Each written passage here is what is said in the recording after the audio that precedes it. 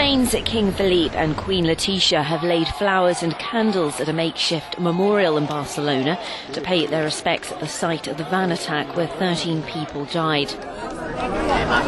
The royal couple placed a wreath and lit two candles at the Juan Miró mosaic where mourners have laid flowers and tributes.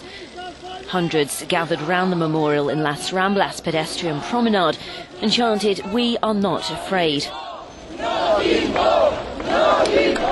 A human tower was also built at the site of the Islamist attack.